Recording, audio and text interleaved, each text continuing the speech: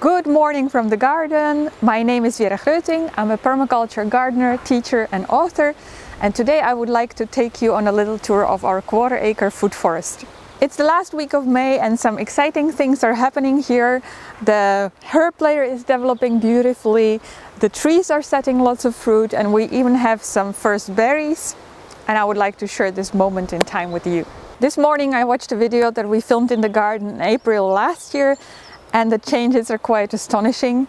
So I'll put the link in the description box below to that video so that you can watch it too if you're interested. This video is going to be quite random and unscripted and I would just like to take you around and point out some interesting things so I hope you'll enjoy it. Let's start here.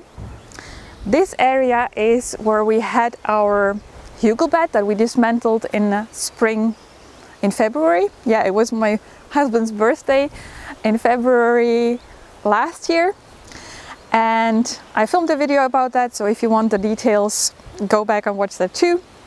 I think it's rather interesting. We spread out the half composted wood over here. We covered that in with cardboard to kill perennial weeds and we grew winter squash here. That uh, did very nicely for us. We harvested over 60 kilo of winter squash. This year uh, the area is pretty much clear of uh, perennial weeds but I decided to still grow winter squash here uh, while I'm deciding how I want to plant it. I want to take my time and really think about how I want to develop this area. Um, what I did was spread out wood chip around here and then plant out winter squash, different varieties of butternut and Hubbard. And maybe you can point down a little. What I'm doing is uh, giving the plants, individual plants, mulch of coffee grounds because those uh, can help to deter slugs which might find a good habitat in the um, in the wood chip. So far they don't seem to be getting any damage at all, so I'm hopeful. And I think that I'm not giving them any additional feed because uh, the soil here, thanks to the decomposted wood, is really rich and good. Another thing I want to share is uh, this apple tree that was previously growing in the hugel bed and I replanted it. I moved it here in February last year. Um, it's on a dwarf, uh, dwarfing root, uh, dwarf rootstock and it is topaz, which is one of the best uh, scab resistant varieties on the market. Last year I did not let it uh, bear any fruits because uh, the tree needed all its energy to, to deal with the shock of the replanting but it's growing really nicely. So this year I'm letting it to uh, I'm leaving a few of the fruits on the tree. I did thin them so there'll be just a few but they're looking beautiful and I'm looking forward to tasting them in the fall and now let's look at the part of the garden that's a bit older it was planted I think by now three four years ago um, we have a plum tree here that's also setting fruit. We have a cranberry here, also lots of fruit on it. It flowered beautifully. I really love the clove scented flowers of that one. Here's a little card, little, quite a large cardoon. And I think the most beautiful plant at the moment is uh, chives over here. That's a plant that I struggled to grow successfully in the past and because I love chives I wanted to have lots of them. So I separated the clumps I had and I planted them in two different areas. Both are doing great. So we're harvesting lots of chives now. And um, in permaculture it's important that things have multiple functions. Chives besides being an edible plant of course uh, because it's in the onion family. It also has um, antibacterial anti what's it called? Um, antifungal properties. So I think that's beneficial for fruit trees. So I like to plant them close to fruit trees. And besides that it's also a great um, uh, great plant for bees Here's another area of the garden with a pear tree on one side and an apple tree behind me. This one is also a scab resistant variety called Ecolette, but that one already gave us a pretty good harvest last year because you can also see the tree is a, is a half standard, so it's on a, a more vigorously growing rootstock. It will be larger than the other one, uh, the, the, first one I showed you ever will. Uh, and that also means that it will give us better harvest overall. Um, this area was only planted, I start, only started planting last year I think. And um, there are again things like perennial onions. Everything that I said about the chives is true for those two. They're beneficial for fruit trees and a good pollinator plant. Um, then there are things like sea beet, which is a perennial sort of um, chard, perennial family or ancestor of chard and beets. Uh, here's a, a ornamental sage that's also a great pollinator plant. Uh, this is a white currant on a rootstock that I was talking about in the previous video about planting it and hoping it would recover because it was left in the uh, pot uh, in the container too long but uh, it's growing nicely. What else do we have here? Lemon balm and bee balm that will flower later and over here is a perennial kale. The planting in this area is more uh, oh, I don't want to step on anything the plants in this area require a bit more sunshine but because they're on the southern side of the tall trees um, they do get quite a bit of sunshine so it's also something that you have to consider when designing the herb layer uh, how much sunshine the plants require and you have to develop the area accordingly so now let me take you to the part behind the trees that gets very little sunshine and um, show you what plants can thrive in, what edible plants can thrive in partial shade.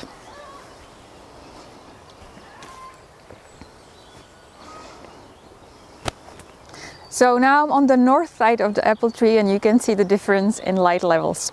Uh, this part of the garden will get some sunshine in the afternoon but there are parts of it here under the large hazelnut tree that are pretty much in shade the whole day.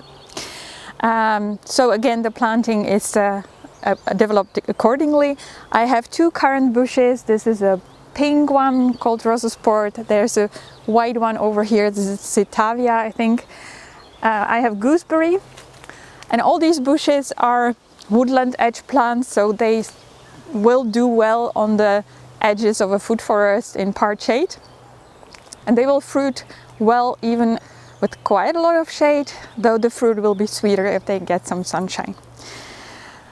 And then we have some, uh, again in the, in the herb layer, this is the second patch of chives that I have that are flowering beautifully now. Um, and now I can't remember the name. I'll put, uh, I will put the English name in the, on the screen. Uh, this is one of my favorite perennial salad plants. It has slightly cucumber-like uh, flavor of cucumber flavored leaves. And also it's a good pollinator plant. Then we have sweet Cicely with very nice uh, aniseed-like flavor. Um, if you go back to the video that we filmed last year, you'll see how small the plants were and how beautifully they grew. Then behind the sweet Cicely we have hosta, which is uh, one of my favorite perennial vegetables. And if you'd like to know more about how to use it, go back to my video on 10 perennial vegetables that we grow. Over here I have um, sorrel. This variety is called the Belleville and it's one of the nicest tasting ones, I think. Uh, you can see it's going to seed. This is pretty much the end of the um, harvest period. Most of the perennial vegetables are especially useful in early spring. And now let me show you the first berries that ripen in our food forest.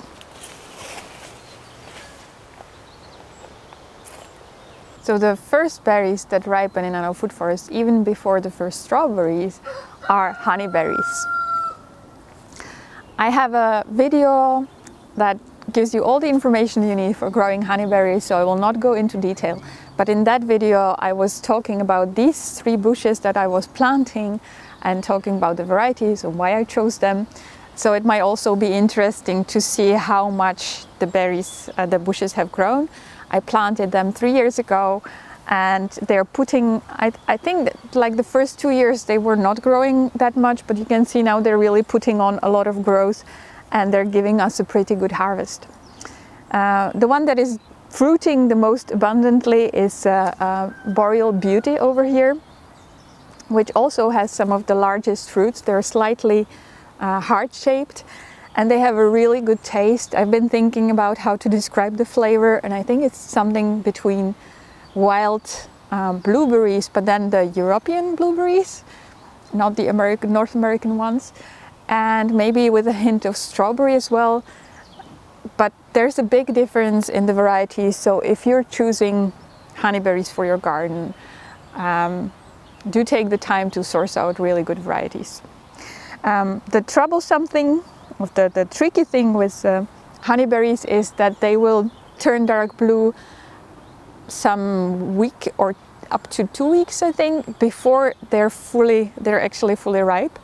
Um, one hint as to the ripeness is that they start falling from the tree. So once you start finding berries under the bush, you know um, they're ripe.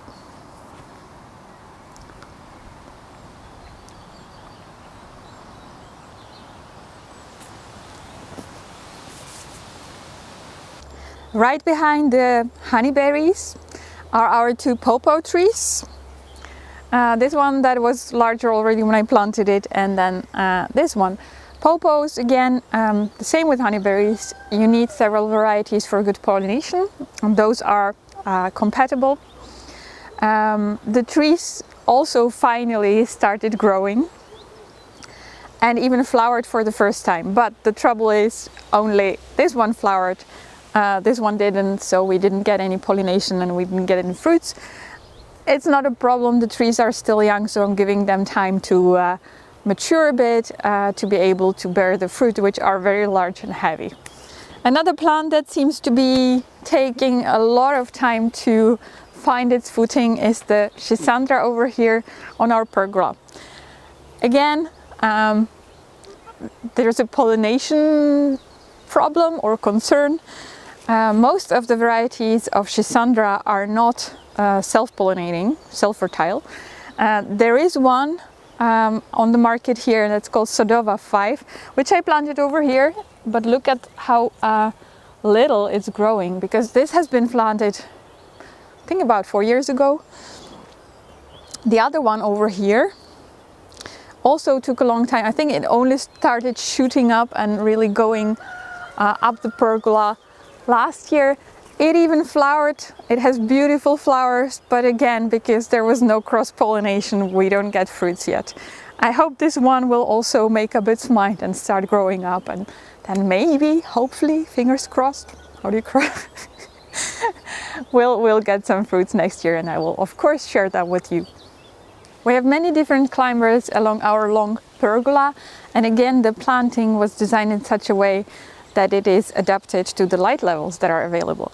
This part is the most uh, uh, shaded ones because it's behind the hazelnut tree and Schisandra is one of the edible perennials that can take that.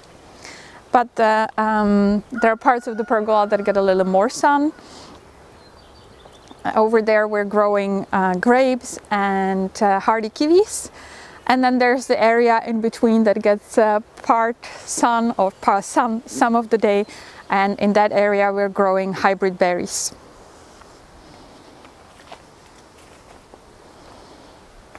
So in the area of the pergola that gets some sun uh, during a part of the day, we're growing berries like uh, boysenberry, loganberry, tayberry, and we have uh, black raspberries over there. I have a detailed video uh, about these if you're interested. Um, this is a Japanese wineberry, and uh, blackberry, thornless blackberry, and all these, um, uh, unlike uh, Schisandra or the Stauntonia that we have over there, are fruiting reliably from year two. There are other fruiting plants that can take quite a bit of shade or even happier in part shade. One of them is Chinese dogwood and uh, since it's flowering now it is at its most beautiful it is usually, uh, in Europe at least, planted as an ornamental, so this is a perfect bush for ornamental edible garden. Um, it will get edible fruits in fall, so I'll try to film a video then and talk a bit about the taste, but right now we're just enjoying the flowers. So that was a little update on our food forest garden. I hope you enjoyed it. If you did, please give the video a thumbs up.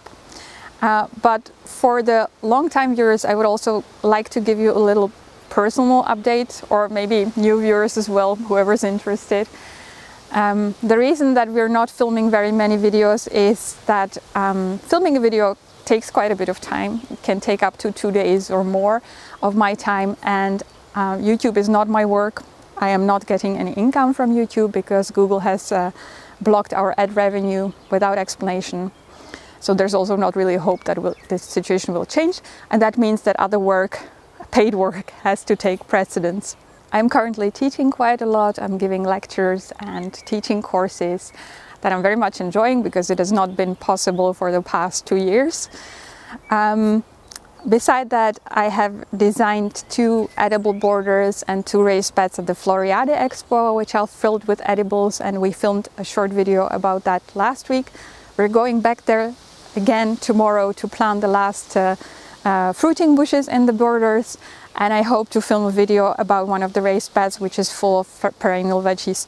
And beside that I'm working on my next book uh, which is very exciting uh, but um, a little hard to fit into uh, in between the gardening and working at the moment. So, but I will get back to working on that more intently um, later in the year I hope.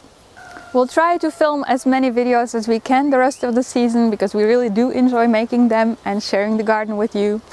But in the meantime, if you're missing your Grown to Cook fix, you can go back and watch the many videos in the archives or you can order my book Edible Paradise if you'd like to support the channel in another way.